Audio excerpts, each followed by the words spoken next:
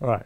Okay. Complex networks. So um, these projectors remain pretty terrible. So uh, there's better resolution in the slides. Anyway, well, some things won't you know, appear that well. But all right. Okay. So um, all right. So I'm going to give you a bit of a course orientation.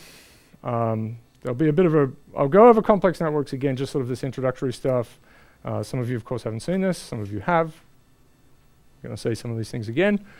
Um, uh, there will be a few things I basically want to tell all of you about. All right, so we have a website. Good, good. Um, that'll get updated as we go along. There's uh, th this course tweets. So there are tweets. Uh, the acronym is uh, CoNKs. We had PoCS. Now we're going to have CoNKs. Okay, and so you'll have Spring CoNKs 2014 is the official course hashtag. All right. There's a whole setting system that gets that. So there you go, we try to be hilarious. Careful experiment confirms that the George Washington Bridge is an edge with very high betweenness. That's a link to a certain story recently. Uh, so things will be here, you'll see. So I, I video this stuff and I'll put it all up online. You know, which of course you never have to look at again. But um, it's there, the episode, but they'll be mixed in with the slides. This will be all recorded here. Uh, we have a logo, which is good. Um, lots of other things. You can just explore this website. Um, so these are these are, this is academic output from this course and the previous one, the Principles of Complex Systems course. Uh, the number of papers that have, you know, students that have been involved in these courses in some way. These papers have been, you know, at least tangentially related. There's, one, there's only one where I just wrote the paper by myself, and it was because of work that I did in the course. So there's a bit of that, but most of it, it's, it, all of them, apart from those, uh, they're all papers with students. So that's a, a very nice uh, output. There are a couple of things. So I haven't taught this since 2011 due to sabbatical and various other things. So um, I'm excited to get it going again. Great course, a lot of fun.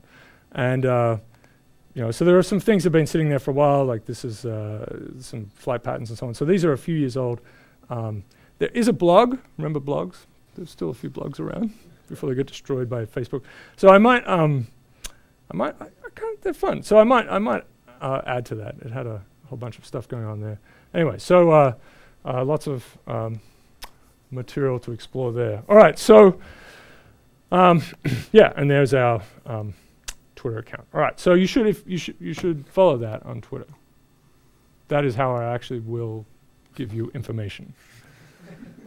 very occasionally, I will send out an email, but that is very unseemly, and I don't want to offend anyone and make you feel sad. Um, so it will come. yeah, so it's going to be full on Twitter.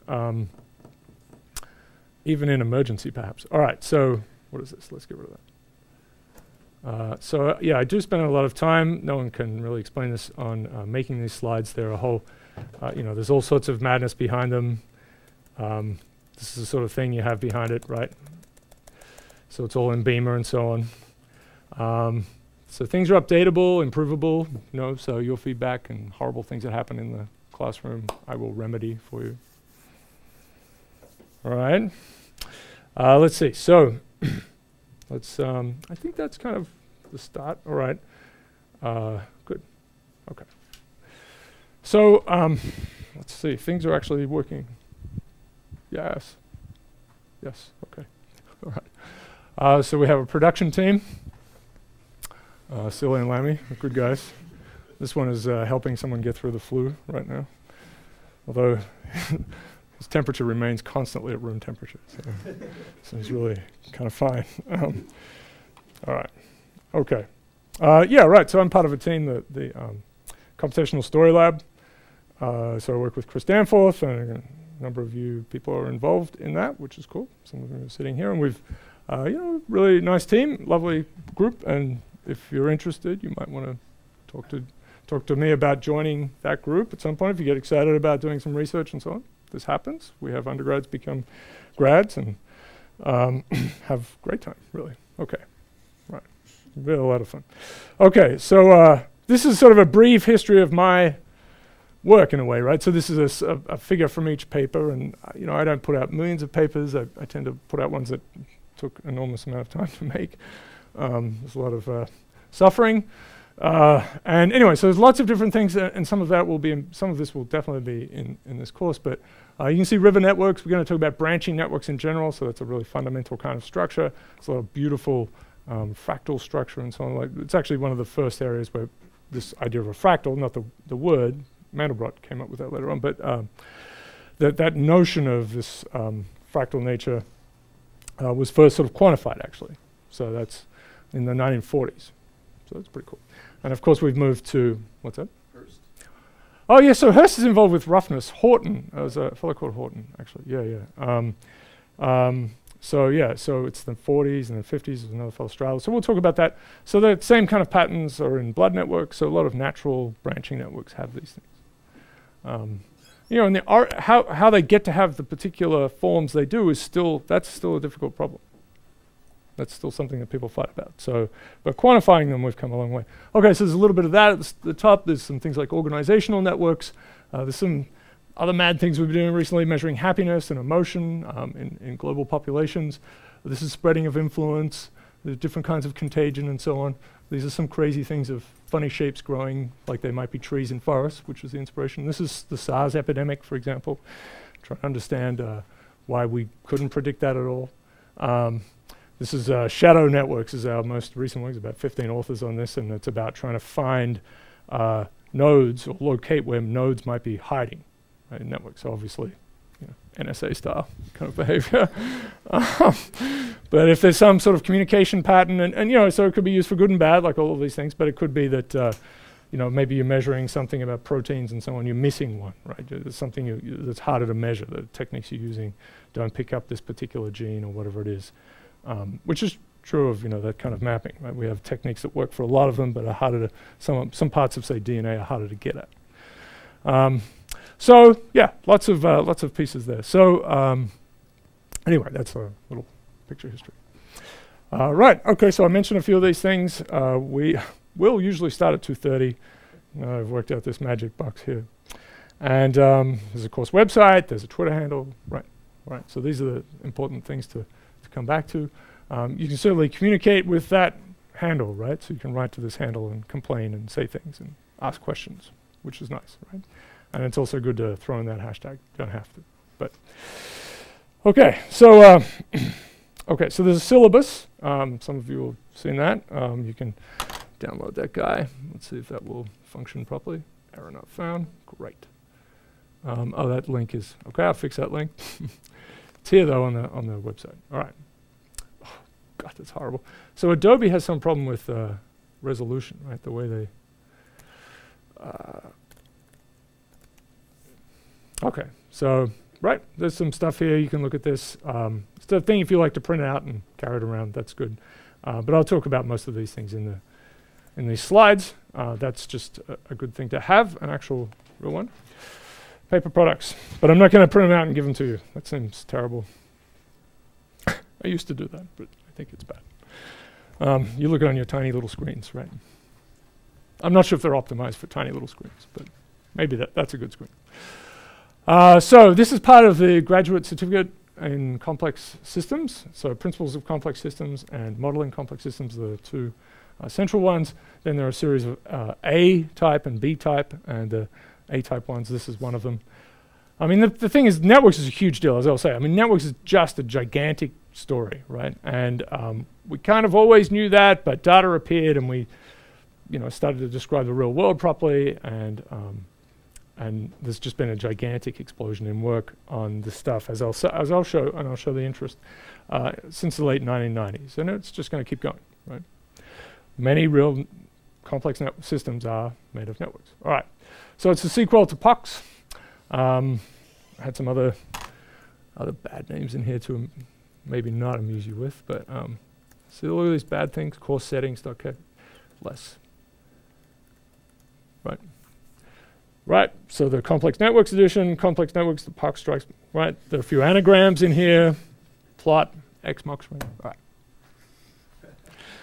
So that's actually a little, I might use that for your assignments, right? So when I make them, it randomly chooses a name for the course. All right, all right, so, all right. Um, yeah, course settings, there you go, pretty ridiculous. All right, uh, yes, okay, good.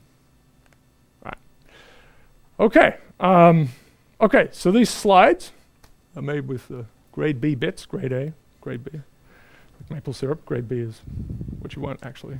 It's a little confusing. It's bad branding, but grade B is actually good. Um, So locally made. Uh, so we will have these, um, the presentation version, which has these little reveals in it, so I can go through it and you know kind of control what I'm doing.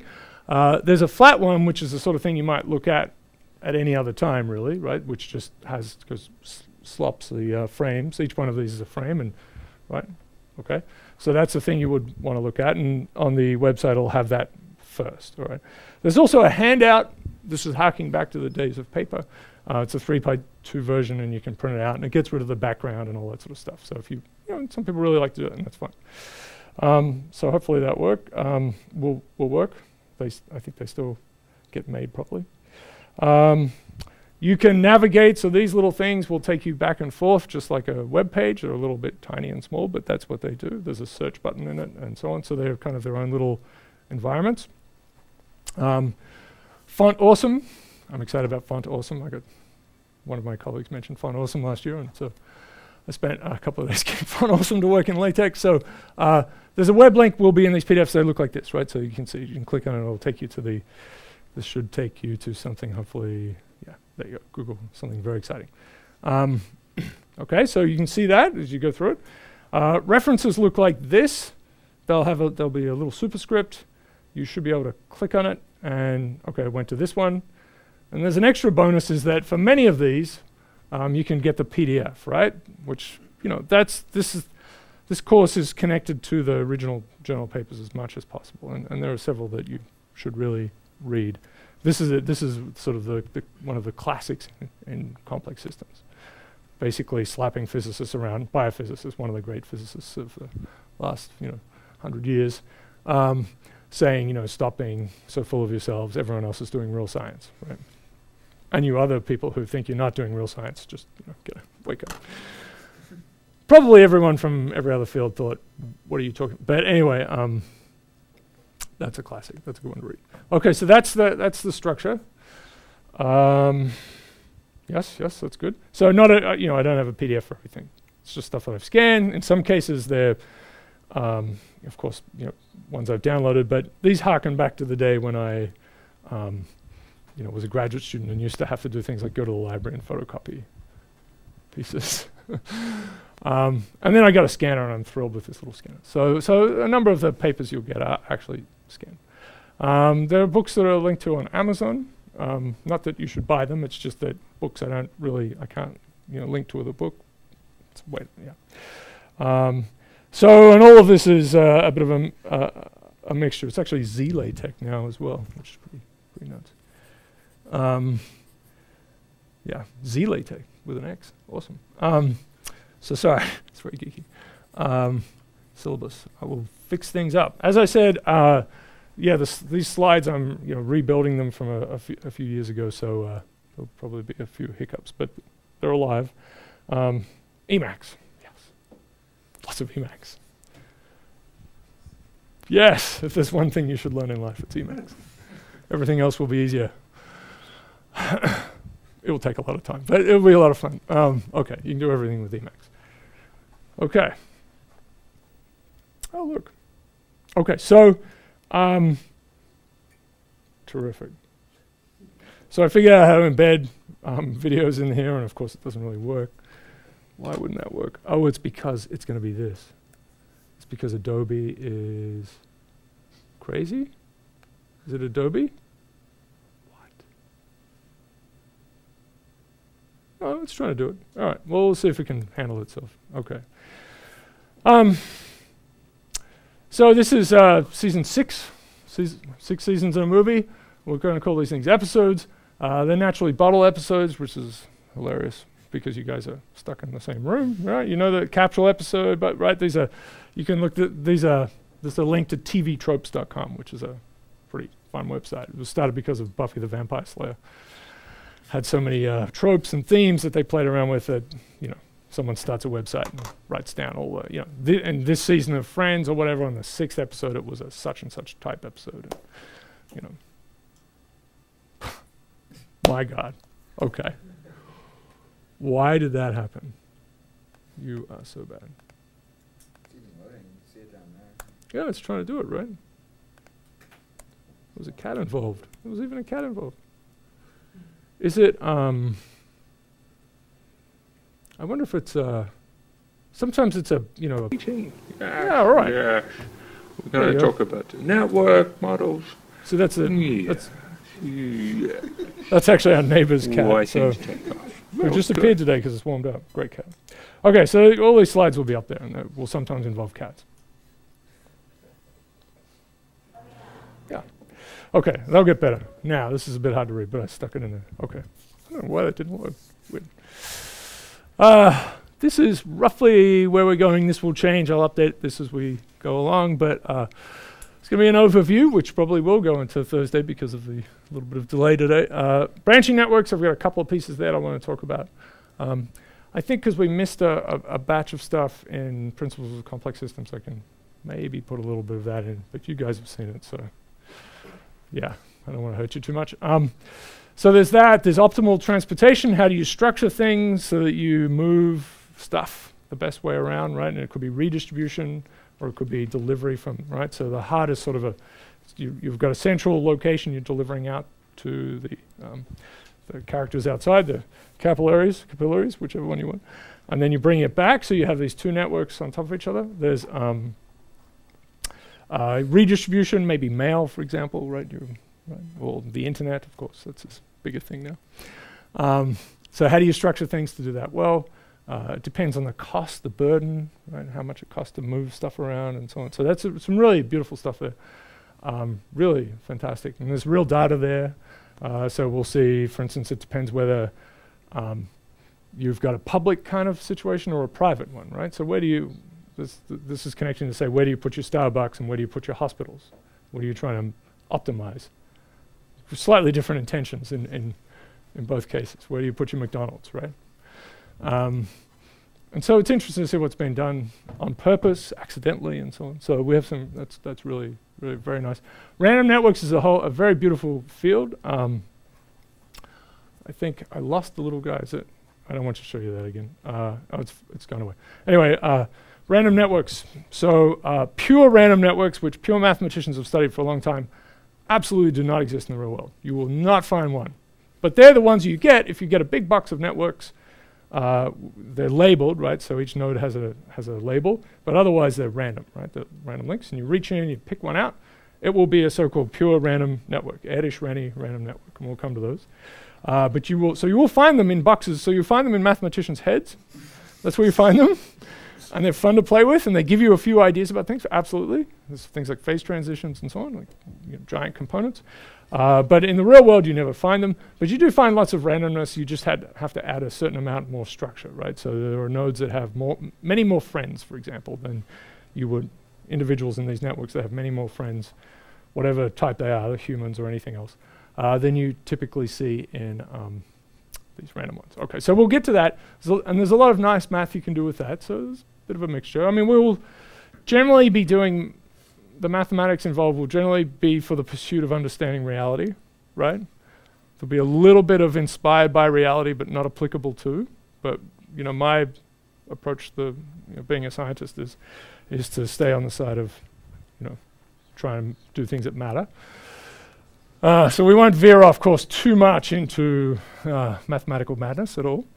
Um, so there's a lot on contagion. That's just a huge deal, right? Stuff spreading around. Big, big, big deal. All sorts of things.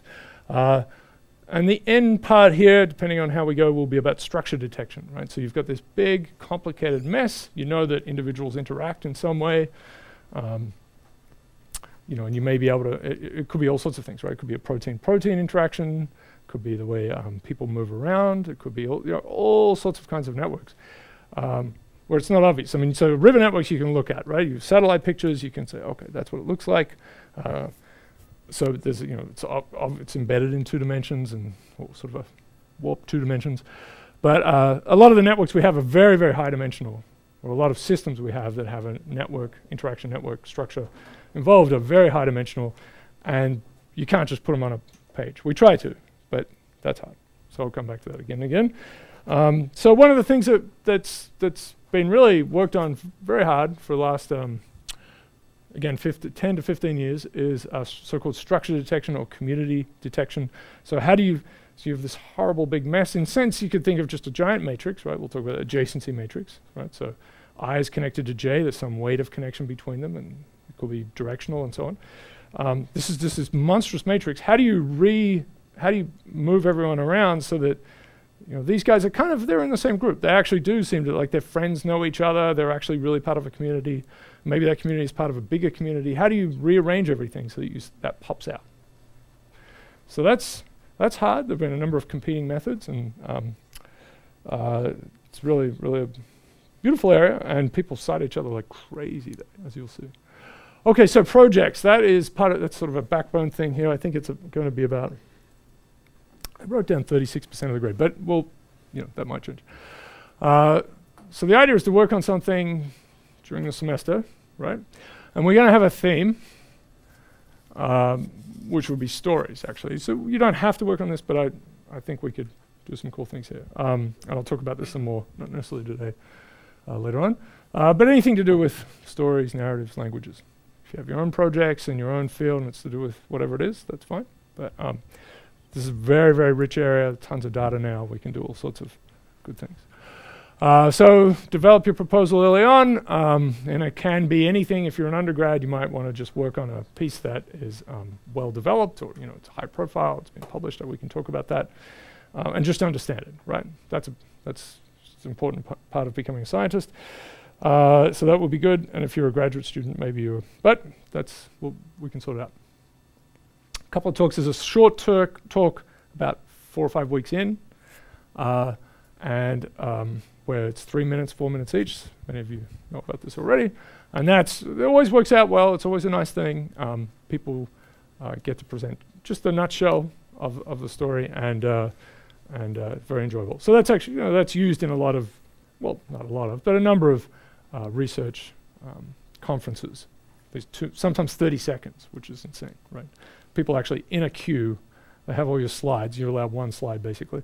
Um, and it's just, you know, you get pulled off if you keep talking. So um, it's a good. You know, it's, hard, it's hard to make good, clean, short things. All right, uh, you can use the VACC, the Advanced Computing Center. If you don't know about that, you, we can talk about it.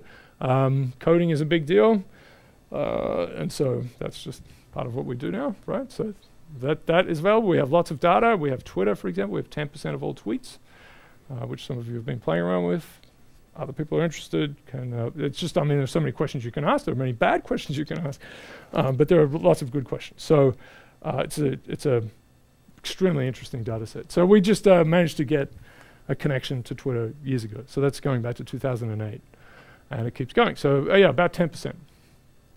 All right. Uh, and we talked a little bit about this, the uh, academic output, right? So we have 16 papers. There's going to be a whole bunch coming really in the next year. Uh, they're all sitting there. Okay, so, and we'll talk about projects soon. All right? Okay. Cool.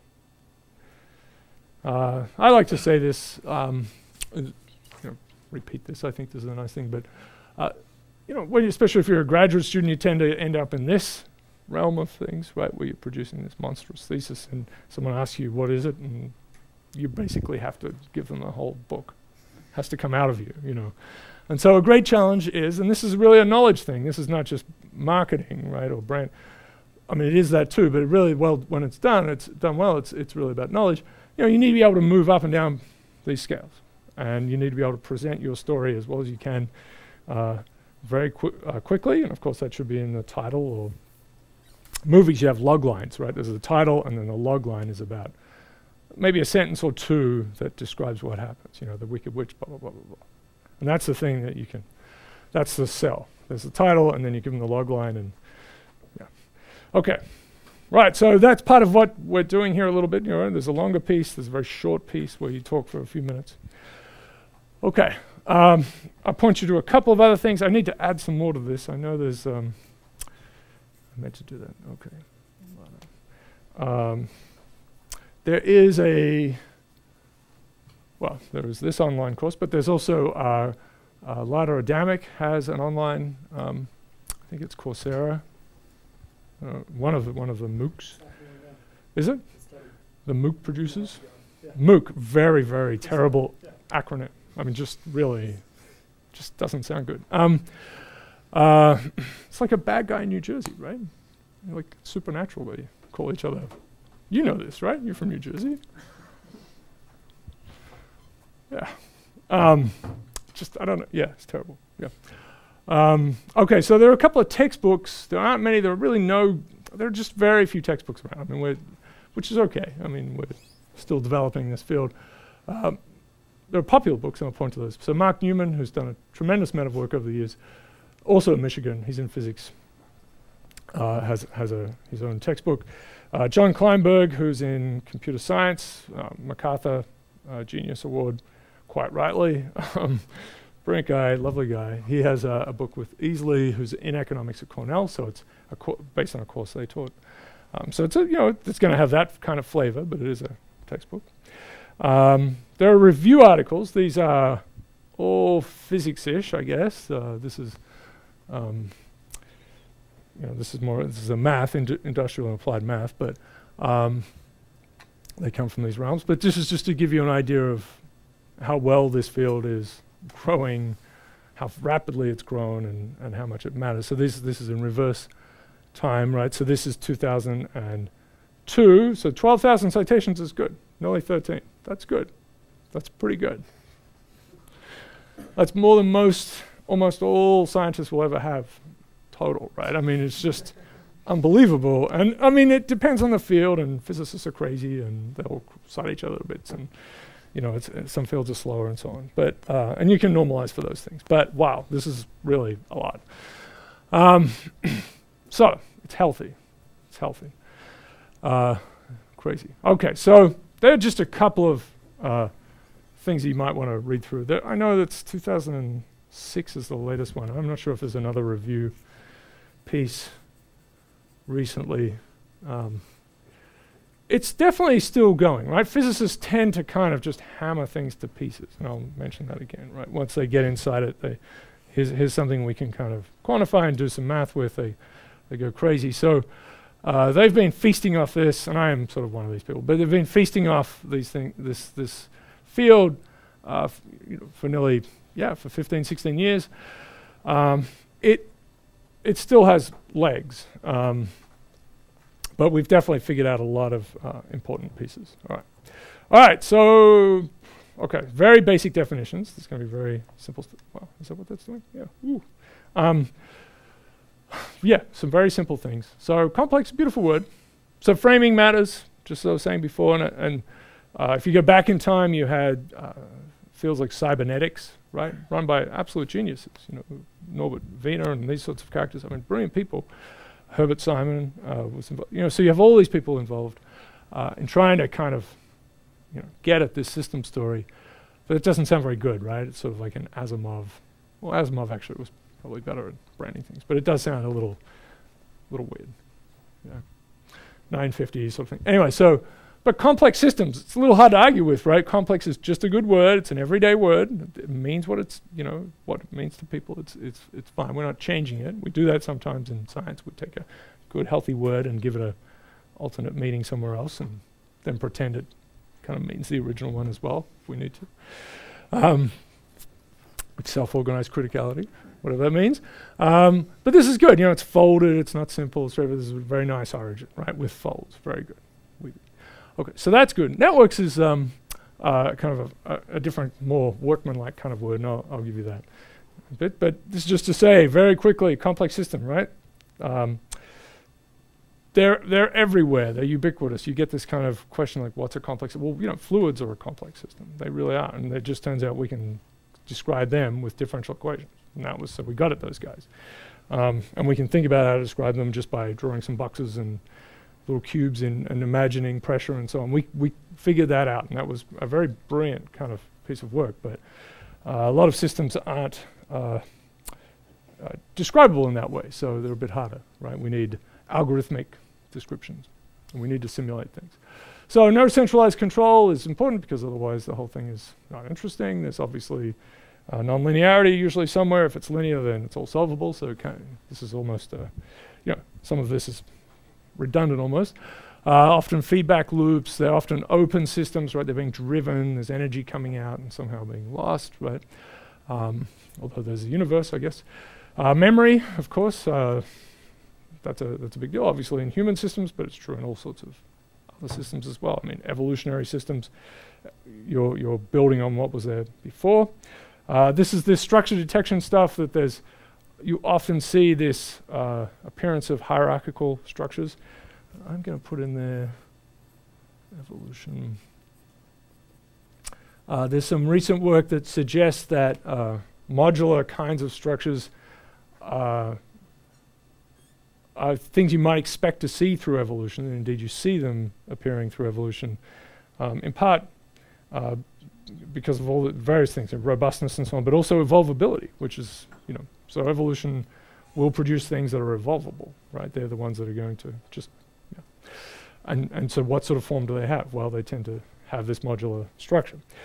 Uh, boundaries can be a little tricky. More is different, I mentioned before. This is this paper by Anderson, going back a long time now, 40 years. Um, and lots of things can be complex, right? So all sorts of systems can have um, what, what we might call complex now. And, and there's a huge transition that's happening in academia. There are, um, not really departments, but uh, institutes and um, uh, other sorts of bodies within universities being built you know, all over the place that are based now on data, huge computing. Right, it's happening all around the U.S. It's happening in Europe, um, and it's just unavoidable. It's the it's science just you know managing to catch up with get you know get itself going. It's certainly in in fields like medicine and biology. This has been happening for a long time. Right, deployed all of this uh, machinery to, to advance things. But even there, you know, more better measurements coming along all the time, and the problems become more and more difficult, right? So it's a really, it's a really fantastic time in science. Basically, it's an absolutely fantastic time. I mean, it's a very difficult time, but um, people have to come out of their little disciplines where it's been a nice place to live in their little burrows, nice and comfy in your little topology burrow, you know, like just sneaking around. But you really, really have to come out, and you really um, have to uh, go and talk to other people. So, you know, the statistics has become a big field. Suddenly, it's like, oh, you know, everyone cares about that, but it, you know, it's not everything, right? Statisticians traditionally don't, my view, describe things. They describe things well, but not the mechanisms, right? That's the physicists do this, and then do some obnoxious statistics on on the end to sort of show that they were right. But um, and engineers make you know things that work, maybe, right? and computer scientists, you know, they can, they can, they're a bit like engineers, right? They'll like, oh, make a neural network or something, and it'll reproduce this thing, and I don't care why. Like it just does it, and that's, you know, that's, a machine learning is a big piece now, and and and that's fine. I mean, it just maybe, you know, this sort of there'll be limits to how well we can understand things. Something we talked about quite a bit in principles, I guess. Okay, so um, anyway, it's exciting times. Uh, we've kind of got the right handle of things. And systems are not going to go away. Data is not going to go away unless we do something really bad with ourselves. Um, it's only going to get more and more, uh, you know, rich and complicated. But in, in, a way, we're really just at the edge of this kind of big data thing. And so there's a lot of data, like Twitter, for example, is just a ton of data. It's incredibly hard to cope with, and you find patterns and so on. But that itself is a very thin slice of, you know, every utterance made by people, you know, and right.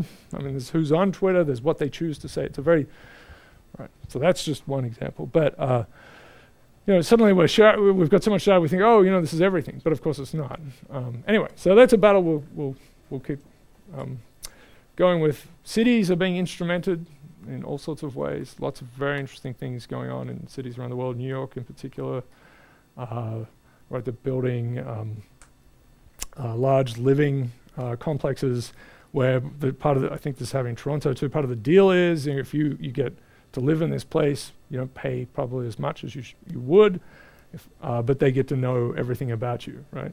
Or you know some amount, like when you come and go, and kinds of things you do, and so on, right? To analyze it. So there's a, a CUSP, which is part of um, NYU and a few other, and it's affiliated with a lot of other, number of other places around the world. I think Delhi maybe. Um, I think that's right, and uh, certainly somewhere in India, and uh, so I guess IIT, and then um, Toronto, um, you know, a couple of other places like that. So, uh, yeah, very interesting. Tons of data, and people aren't sure what that's going to, you know, going to do. But you need to be able to handle it, able to understand it. All right, okay. This is wow, it's terrible. Um, you know, I'm just throwing these things up just to give us a little, this is what we ended with actually, principles of complex systems, right? So we, we kind of have this story here where, uh, you know, why do we get complexification, right? So that's a great kind of problem, right? You, there, are, there is the story, of course, we have the Big Bang and then stars and then planets form around that. We have this long history, 14 billion years. Uh, and then eventually maybe we get to understand how you know life starting, which I think is the advent of algorithms actually, right? When does when does that kind of emerge out of raw cold physics and randomness? You know, it's just a lot of physics to start with, like things just mass into you know, and then you get some if-then loops and uh, if-then clauses and, and some for loops, and, and that's a that's a different kind of business. Um, so, you know, these there are a lot of things we can describe. Uh, when we understand this complexification, there are a lot of uh, areas. So, as I said, fluids where we have um, differential equations, and there are these micro to macro stories. Right, we talk about the micro uh, things, and we think about how they might interact, and we get a story for that, and then we get a macroscopic behavior. Right. So that's a just very natural thing. If there's lots of entraining across scales, that's difficult. But if you have this, that's one of the great. That's why fluid um, mechanics work so well because you do a micro to macro. This nice separation of scales, so to speak, as it said. Uh, there's that sort of thing. Then we get out to you know we get out to evolution, and that's sort of these algorithms and games that are being played out in this physical space. Um, we get up to the informa information dealing with itself and interacting with itself, which is a kind of a crazy thing. These things are harder to, and so I'll call them the soft and squishy sciences. Um, the framing more is different is about this micro to macro story, right? So you have more stuff, and it's not just that the um, uh, the whole is greater than the sum of the parts; it's that it's different from the sum of the parts, right? So, right, a tornado is not inside a water molecule. Um, all right, so but where this boundary is moving out, right? This is a harder to measure stuff. It's, it's more there are more theories in some ways out here, right? We have we where we have less stuff pinned down, we tend to make up more things, and it's kind of amusing. Economics is a fine example. Um, hence the sniggering. Um, uh, but you know, and if you go back in physics, I mean, we had all sorts of stories for how things, you know, how the Earth worked and the sun and so on, and we argued about them, and there were, you know, gods that pushed the sun across the right. Okay, well, there might still be, but you know, like the we we tend to have this mechanistic explanation now that most people are buying into. All right. Okay, so that's just to throw a little bit of complex systems back in there. Um, little etymology network, right? So it's a it's a it's a work of nets essentially, right? That's that's like a right ironwork or any of these other things. It's it's it's that kind of story. But you, it's interesting to look at the history of it. Um, to start with, it's uh, and maybe that's not quite in here. It it moves out from talking about say uh, animals, structures in animals, right?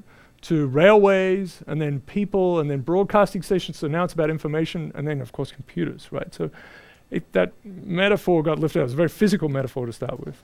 Net meaning like a web, of course.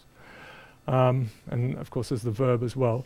Uh, lots of other great words though. I mean, it's a very enjoyable kind of word, or you know, thing, a network. Um, web, which got stuck on the World Wide Web call it the web. But uh, the web and the internet are different, right? We just we tend to make a mess that up a little bit, but they're different things.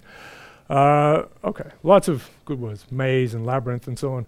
So uh, I, I, always put this up. Keith Briggs was a postdoc when I was at Melbourne as an undergrad, uh, and took upon himself to have a look at the origin of this word. So opus reticulatum, right? So work of of a net, which is so this is Latin. So this is a brick structure that that has that form. Um, there's some all, all this good stuff, right? So the Geneva Bible is the first time it's written down according to the OED, which is, uh, you know, thus according to lots of crazy people who go through things and try to find um, the appearances of words. Sometimes they're in jail. Um, that's what they do all day. Uh, let's see. So uh, then you okay. So structures in animals. We have rivers and canals. We you know it's a lifting it's language. Very interesting, right? We lift, lift, lift. These metaphor uh, the way we use metaphors. Um, railways, and then it's electrical cables, and, and then distribution networks. Okay, you can look at this later on. Net was a spider web to start with by itself. Work, of course, meaning something that is in that form. Uh, but so net goes back to 888, um, when the English were, you know, mostly killing each other, but occasionally someone was writing some stuff down. probably under the threat of death by a king, um, who then told him to write it in his name. Yeah. So, um, all right. Okay, good. All right. So I've said these things. Uh, so the big, the big story. People have talked about complex systems for a long time. There's the the Santa Fe Institute was founded by a bunch of Nobel laureates, and wow, is it the 80s? Yes, and uh, you know, with this vision, right? Let's understand everything. Okay, we've got the quark sorted out. I'm Murray Gell-Mann. I made up. I made up the word quark. You know, et cetera, et cetera. Right? We've done this. We're all good, right? So, um, maybe some small stuff, but let's go and get the big things. Let's solve all these economics problems, right? Well, we can. We're smart people. Turns out it's really hard, right? and um, and it was also before you know the data thing took off. It really was before that, and so they were up against it. And uh, uh, that's really the late 90s, as I'll say. Um, and there's a transition there, right? So, okay, so and I so I went to the Santa Fe Institute summer school in some ancient time, maybe 96, and I know no one was born then, and um, no, there was no one else in the world actually, right? Right, as you might expect. You know. um, all the television stuff is made up. So the 96, and there was one talk on networks at all, right? One talk that just touched on networks, and it was really super interesting. It was about the uh, the idea that if you have a complex diseases, you have something going wrong. There's sort of a cascading uh, behavior in the immune system. So, right, this sort of difficult so if, if doctor says to you, you have an idiopathic condition, that's a, just a very nice way of saying, I have no idea what it is, right? Idiopathic means. Um, I don't, it's unbelievable when they use this word. But um, there are, we have a number of those, right? They're very complicated and lots of different symptoms and so on. And um, immune, uh, autoimmune diseases like that. Anyway, that was a nice piece, but that was the, uh, that was the sole uh, kind of work on, on networks. Anyway, so boom, right? Changes the end of the 1990s. Uh, so lots of systems have a, a, complex network flavor to them. I will uh, go through this on Thursday a little more. Um, so suddenly the game is, you know, it's on, right? I mean, we, kn we knew about this interacting thing. We spent a long time with, uh, if you look back through the history of things, with, with lattices of all kinds of um, forms. And that's really kind of plastics, right, in a way. It's sort of, you know, un unreal materials and so on are, of course, lattice structures of sorts. Um, so we're obsessed with them because there are lots of lattices you can build. It was fantastic, right? So you can make them, you could see them in the real world. I mean, diamonds have this shape and blah, blah, blah. Um, and then we got to plastics, so there's polymer science and all these things. Uh, so so that, that takes a long time. Um, but then networks are these more distributed, messy things. Okay. Anyway, lots of, uh, the, you can pull out all this math and, and lots of, uh, of course, numerical work that you can do. Um, the I, through the two the, uh, the the aughts, I guess, um, the, the the approach has really been sort of stat mech, statistical mechanics, uh, theoretical physics, right? So these guys have been rampaging along. Uh, I think it's moving into more of, I mean, those people have been doing. Computer scientists are now sort of taking off. Uh, the last paper I pointed to used the Eureqa in, in my little setup of papers. Use, uses Eureqa, for example. If you know about that, it's a little ma crazy machine learning thing that tries to produce the underlying equations describing a system. Um, so it's a weird fusion of madness. Um, but really scary for a physicist, right, who thinks that they should be able to figure it all out on paper, which, you know, is not really true. So there's a ton of work that's been done uh, since 1998, and this is my little joke, right? Piranha physicus. I know some of you have seen this. Um, they hunt in packs and they feast on new ideas. They, they, they absolutely um, savage things, and then they jump off so yeah, right. It's like soc kids playing soccer, right? The ball squirts out, and then they all go jump on it. Um, okay, and there's just sort of the. Anyway, they're still going. Yeah, yeah, yeah. They haven't eaten at all because it's a big field. Yeah. Uh, the thing that's come up recently, and I'll, in the last few years, is, is, is the framing of temporal networks, which has always been there and it's been worked on in different ways, but it's a framing, and that's getting a lot of play now, which is simply that there are interactions that play out over time, right? So it's not just a big fixed network. So this has been known forever, but it's been sort of formalized, and now they're excited about that. All right. Um, there are a couple of papers that are, wow, that's kind of weird. Um, oh yeah, I see. Uh, that that started all off, and you know, I'll, I'll, well, we'll get to where we can today, based on what happened. Um, and, then, and so they're very famous papers. So, and I worked with Duncan for a long time. Um, is actually the guy I came to work with in the US, but uh, he moved to Cornell, which was complicated when I arrived at MIT. Um, so, but uh, so Uncle Steve, who's now who's been at Cornell since '94, he says I can call him Uncle Steve. Uh, I don't. You you you might know him. He's written uh, you know lovely stuff in the New York Times on math. It's been beautiful, beautiful things. He's a great educator, and he's done lots of interesting things. His big thing over time has been synchronization, right? So he has a book called Sync. It's really a cool book. Um, that paper has 20,000 citations as of today, uh, close to 21,000. Um, uh, was published in Nature, and uh, this framing, small world networks, right? And it is something that we went through in great, uh, great detail uh, in, in PoCS. But you know, I've been involved in work that came after this. But it's basically about search, right? How do you search through these systems? Well, they could be social systems, which is the original, partly the original inspiration. Actually, the original inspiration was grasshoppers talking to each other, crickets. Um, a little crazy. Uh, but it is about how do you, you know, how do you, how do you search, right? So there's a six degrees of separation idea, the small world idea, uh, and and it's been used e- even recently to figure out how to mobilize large numbers of people for a, for a, a good thing. Obviously, if you're an evil genius, you could possibly get it to be done for a bad reason, um, but you know, generally for trying to help in some way.